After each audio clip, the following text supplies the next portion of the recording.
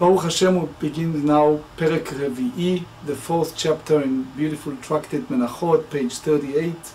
Today is really a fascinating subject, the first Mishnah, dealing with two important mitzvot. The first one is the tzitzit, and the second one is tefillin, but from a different aspect. First one is the Mishnah הקדושה said התכלת אינה מעכבת את הלבן והלבן אינו מעכב את התכלת. The Torah commanded us to have in our garments a tzitzit, a, each corner and a four corner, we should have a corner with tzitzit. Now the thing is, what does that mean? We follow the Torah instructions, so they said that we have to have something that it's betil techelet, that um, have one of the fringes, or maybe more, soon you see a, three different avenues, the uh, fringes. So we now today call it white, and there are some who hold that even they discover the, the, the the bluish one, and therefore they have one or more of those fringes in that color. But the thing is, if we have an absence of a blue sky, meaning one of the strings is, um, all the strings are white, um, that's not prevent from fulfilling the mitzvah of the tzitzit, and vice versa. If it's missing the white one, so again, it's not prevent the mitzvah. Later the Gemara expand on that. As far as the tefillin is concerned, we know that there is a mitzvah of hand and head tefillin. Excluding one, soon you see a great rabbi, a Baal Halachot Gdolot and Levush. Most of the rabbis say that in a way it's like two separate mitzvot. We all know that it's together. We all know that it's a dual process, have to be the hand first. But in some cases, it's all kind of circumstance, they said that if a person תפילה של יד אינה מעכבת את של ראש, meaning the absence of the arm tefillin does not prevent a person from fulfilling the mitzvah of the head tefillin and vice versa, ושל ראש אינה מעכבת של יד, meaning if there are circumstances that you have an absence of tefillin of the head, does not prevent the fulfillment of mitzvah of tefillin of the arm. If one has only one, he can do it without the other. Now, obviously, there is much to discuss. So let's first see the Gemara and later on we read the commentators. Lema matnitin de lo kerebi. We should say that the Mishnah is really not follow Rabbi Yudah Nasi, the Tanya. Ur itemoto. The Torah said in the book of Bamidbar, chapter 15, a clear mitzvah. They said they should make these blue fringes and ur itemoto, and you shall look upon it. מלמד שמעכבים זה את זה דברי רבי. So that teaches us that lack of either one prevents the fulfillment of the mitzvah of the other. והחכמים אומרים אין מעכבים. The sages said no, the lack of one does not prevent the fulfillment of mitzvah with the other. Now, in order to examine both ways, Maita Amad Rebbe, how rabbis learn that this white or blue is not absent of one, do not prevent the other. Dichtiv, because the pasuk said, "V'natnu al tzitzit kanaf ptil tchelet." So you derive from the word hakanaf, meaning min kanaf, uchtiv ptil techelet, and it's written you shall have a blue sky thread. Marachmana u itemoto, itemoto meaning it's a singular, you should see it. So a person fulfill his obligation ad de ikatravaihu bechad, until both type are present together v'Rabanan, and the sages disputed, and they hold u'item oto, you shall mace, look upon it, meaning kolchad lechudei mashma. One fulfills the mitzvah with each one individually. So now the Gemara completed the question, Leima de Rabbi. You may say that the Mishnah not follow the view of Rabbi Yudah Amar Rabbi Yudah Amarav, Afilutei Marabi, לא נצרכה אלא לקדם. לקדם meaning to granting presents if you have one fringe mounted with which is if you have the white strings should precede the blue string but if the order is reversed is have by force of circumstance a person can fulfill the mitzvah the Tanya mitzvah lehagdim lavan letchelet the mitzvah is to insert the white string into the garment before inserting the blue sky string However, v'mikdim tchelet lavan yatsa, but if there are circumstances that one inserted the blue uh, sky blue string before the white string, he still fulfilled the obligation um, by uh, but omitted the mitzvah. אלא שחיסר mitzvah, omitted the mitzvah. מהי חיסר mitzvah? What exactly he omitted a mitzvah? page 38b, Ileima Chiser Mitzvah de Lavan, which is that individual omitted the mitzvah of the white string. So Rashi explained to us, it's like he did nothing. So vekiyem mitzvah to fulfill the mitzvah of the blue, sky blue strings how that can possibly Rabbi Akuvay Me'akev Ahadade, according to Rabbi Yudah Anasi. So one absent of either white or sky blue string prevents fulfilling the mitzvah with the other. So if you have a situation like that, so a person not fulfill the mitzvah at all. So the Gemara explained, Amar Rav Yudah, Amar Rav Shechiser Mitzvah ve'asa mitzvah. It means that the person, he in one hand omitted a mitzvah, but nevertheless he performed a mitzvah. Umay chiser mitzvah. What exactly he omitted? The law avad mitzvah min hamuvchar. That he did not fulfill the mitzvah in the most optimal way, optimal, optimal manner, because he did not insert the white string first, but still in a way, it's okay. He, he uh, did fulfill the mitzvah of, of tzitzit, of ritual fringes. So let's uh, see several halachot before we continue. Um, first, the um, the Rambam. The Rambam Hilchot Tzitzit, the first chapter, chapter one, and you see also Aruch HaShulchan Orach Chaim nine. You see it also in Shulchan Aruch Harav. The absence of the sky blue strings in the tzitzit does not pre prevent fulfillment of the mitzvah with the white strings, and the absence of the white strings does not prevent fulfillment the, of the mitzvah of the sky blue strings.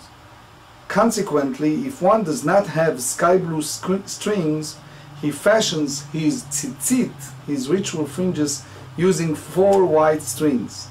Similarly, if he does not have any white strings, he fashions his tzitzit using four sky blue strings. So too, if one had both white and sky blue strings, but the white strings broke off and only the sky blue strings remain, they are still fit. That's basically the way that Rava interpreted.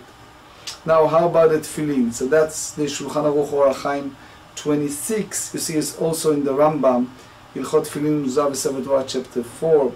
Absence of the tefillin of the head does not prevent fulfillment of the mitzvah of tefillin of the yad of the arm. And absence of the tefillin of the arm does not prevent the fulfillment of mitzvah of the tefillin of shel rosh of the head. Since there are two independent mitzvot, that's remember that's the Rambam and Shulchan Aruch.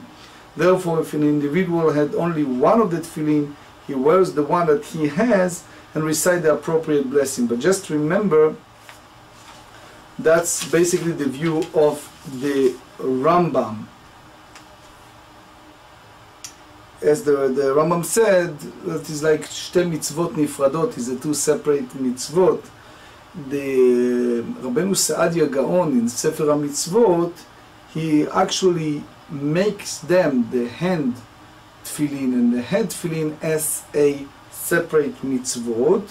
You see also in Sefer HaChinuch in Tav Kaf Aleph, and you see in Smag.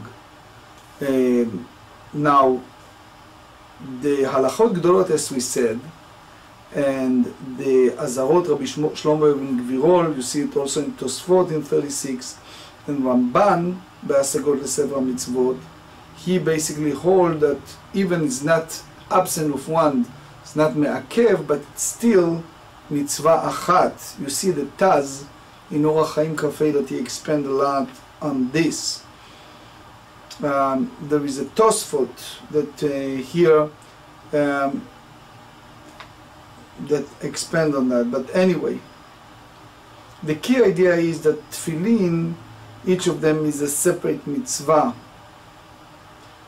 versus the tzitzit um, the Levush said that one can fulfill, but anyway, it's way more than we can discuss today. There is a lot of mefarshim um, um, that deal with uh, halachot. Um, another one,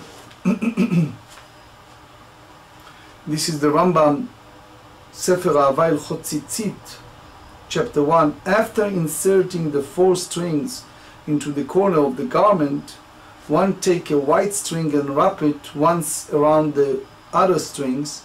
He then takes the blue sky string and wrap it around the other strings. But soon you see that um, there are more than one view when it's come to this, how many one should have and how.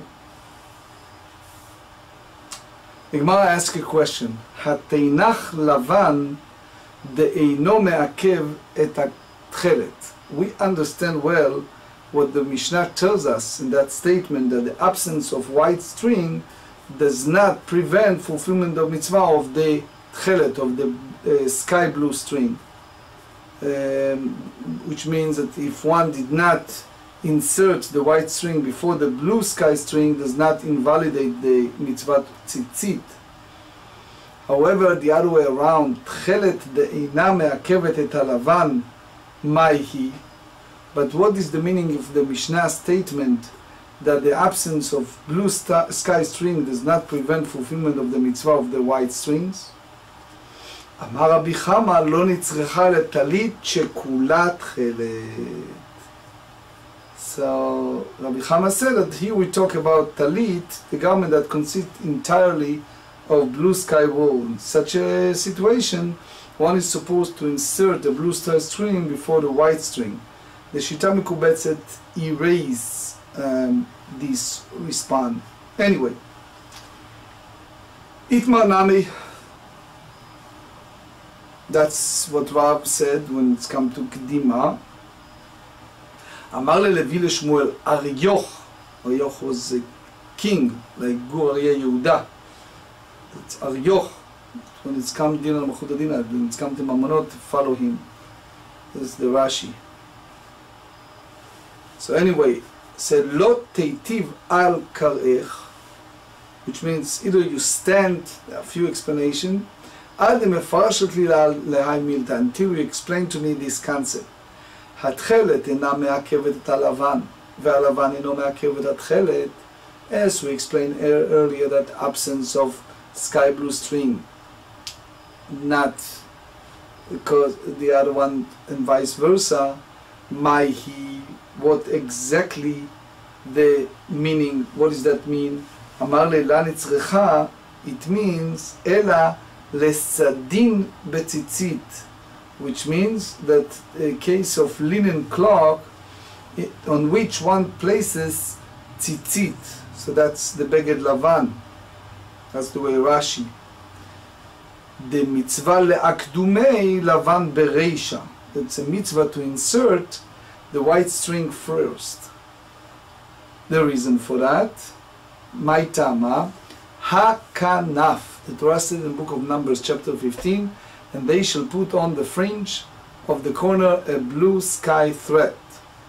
So, what does that mean? The corner he says min kanaf, same type as the corner of the garment. ויקדים תכלת ללבן, late land בה. That if one inserted the blue sky strings before the white string, we have no problem with it b'diavad after the fact, and the tzitzit are valid. So the Gemara asks, תינח לבן דאינו מעכב את התכלת, תכלת דאינה מעכבת את הלבן, מהי? So we understand when it's come to the white string does not prevent fulfilling the mitzvah with the sky blue string. On the other hand, how about the other way around? When you have the absence of sky blue string does not prevent the fulfilling the mitzvah of the white one. אמר לי רמי בר חמא, there's a ורז'ן versions here, ליעבץ, the issue with that, he doesn't live with לוי, anyway, אמר רמי בר חמא, לא נצרכה, so the late, לא נצרכה אלא לטלית שכולה תכלת, דמצווה לאקדומי היא תכלת ברישה. הכנף ממין כנף, ויקדים לבן ברישה להתלנבה. So he said the mitzvah to insert the blue sky strings as a first, because you go by the pasuk that said the fringe of the corner, which means the first strings that the person inserts in the garment, so the same type as the corner of the garment. So if one inserts the white strings first, so it's not an issue, but the avad, in a hindsight, after the fact, and the tzitzit are fit. Rava rejected that. He said, Rava midei tziv'a kagari? You're talking uh, um, about the color. You said that the, the, the color of the garments, that's what determines the, the proper order that one insert the, the, the strings. אלא אמרבה לא נצרכה אלא לגרדומין. So they, they have a severed strings. The אי יגרדם תכלת וכאי לבן, that if the sky blue strings were severed and the white remain, והיא גרדם לבן וכאי תכלת, or the other way around, ליתלן בה, and it still fits. So it's at least 12 גודלים, that's the minimum, the איש של אור החיים, ג' סדר. But anyway, אמרי בני רבי חייא, גרדומי תכלת כשרים וגרדומי אזוב כשרים. Said that severed white of blue sky strings are feet, and severed hyssop branches um, for a sprinkle of the water of purification mixed with ashes of a red heifer. Now, it's important to mention two things. One, I would like to um, mention the well-known Shagat Aryeh. The Shagat Aryeh, uh, at the very beginning, from the Mishnah, when the Mishnah said that תכלת אינה מעכבת הלבן והלבן לא מעכב תכלת, as the Shagat Aryeh Lamed Bet in 32 said in our days that excluding Hasidei Radzin, the late Rav Herzog and a few others, we don't have the real indicate of Tchelet, so how come, כיצד הותר beged בעל כנפות, how we allow it? It's part of mitzvot tzitzit, so he followed the Shitat Mordechai, the well-known, that that is no issue when you have a beggar without tzitzit, uh, but it's only bitul mitzvah mitzvah tzitzit. But obviously there is a long, excuse me, long long discussion over that. Okay, here is the Rashi. I just want to spend a moment in the Rashi here because it's important. Rashi דיבור המתחיל a גרדומין.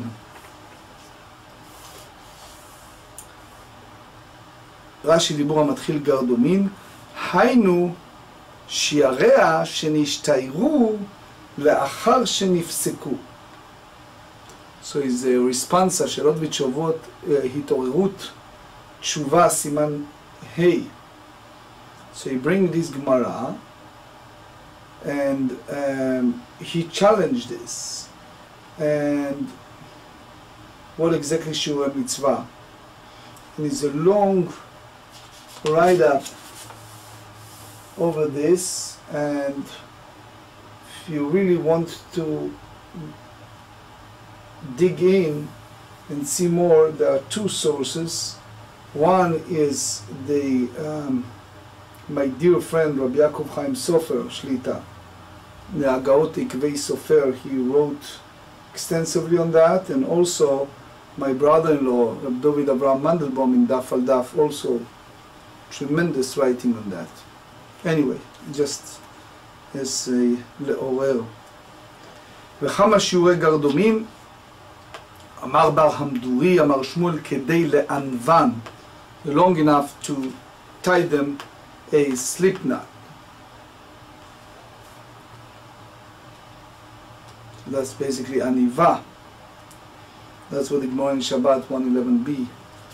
Ibaelu kedelanvan lanvan kulhu ba'adade odin makulchad vechad lechulei teiko. Unsolved. So the Rambam in Chotzitzit chapter 1 said, if the white strings were severed and only the sky blue string remained, the tzitzit are still fit.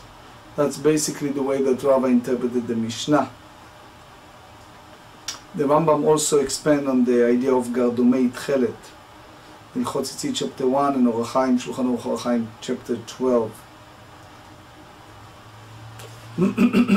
באי רבשי, אלימי דלא מענבי, מענבי, ואיהבו קטיני מענבי מאי. Says, if the strings are thick and cannot be tied in the slick part, knot, but if they were the same length but thin, they could be tied in a slip knot. So my, how you treated? אמר לרב אחא ברדרבה, לרב אשי, כל שכן דמנכר מצוותיו. How much so? Because you recognize the thicker string. Mantara de Faligre Rabbi. He is the one who disputed Rabbi and hold that Chelet veLavant is not me'akvin ze ze, even at the beginning. So the Rashi said, who are the sages that disputed Rabbi and said that Chelet and Lavan not me'akvin ze ze? הייתה לנו דתניא רבי יצחק בן משום רבי נתן, שאמר משום רבי יוסי הגלילי, שאמר משום רבי יוחנן בן נורי, אין לו תכלת, מטיל לבן. He said if he doesn't have the tchelet, put the white one. So a few points. First, Shulchan Aruch in 12, the Rema said if the tzitzit that become severed are thick and cannot be wound around the other strings and tied in the slip knot, but they are long enough that one could do so. If several things were thin, uh, thinner, they remain fit. Determination of whether the severed strings are long enough is calculated based upon whether strings are average thickness could be wound around the other strings and tied in a slip knot. Also the Rambam in Ilchot Tzitzit chapter 1, you see also in Aruch HaShulchan Orach 9, and you see also in Balatanya, and Shulchan Aruch Harav also expand on that, wish to have more time. It's a beautiful subject. Anyway, said the absence of sky blue string in the tzitzit does not prevent fulfillment of the mitzvah with the white string. Consequently, if one does not have a techelet, sky blue strings, he ties four white strings to his garment. So according to Rashi, if he has no white string, he ties the four blue sky string into his garment. The halacha followed the opinion of the sages who disagree with Rabbi Yudan Nasi. Although the halacha is followed Rabbi Yudan Nasi when he disagree with one of his colleagues, that is not the case when he disagree with multiple colleagues. But as we said, that um, the whole subject of if you use tchelet, especially biyameinu, and how many you use tchelet, it's a long subject that way above this uh, scope of this shiur. אמר רבא שמע מינה צריך לקשור על כל חוליה וחוליה. So Rava said that we learn from Rabbi Chia that one is required to, to tie a knot after each and every one set of windlings and one cannot suffice with only one knot at the end of his windling. תיסר כלתך לא צריך רב חייא גרדומי תכלת כשרים וגרדומי אזוב כשרים כיוון דאישתרי אילאי אישתרי כולה So the moment that your uppermost knot is undone, so all of the windling of the entire corner will come undone. Because you don't have other knot that holding the windling in place. So you don't have a valid tzitzit. That's the mitzvah of Gdil. Tosfot, you see also Chirushei Griz. Have a big to do over that, how and what. But anyway, page 39. So the Gemara rejected this proof and said, Dilma Pnei Rab talk about the, the um, circumstance, the iktar, that when one tied knot between the sets of the whittlings, even though there was no obligation to do it. So Rashi explained Rashi bothered with all of this, so he used the word klomar, running to daven, so we don't have much time, but obviously there's much to discuss here. Rashi expand how it doesn't mean that the, all the gardomim ksherim, but he meant to say that there are some gardomim that ksherim.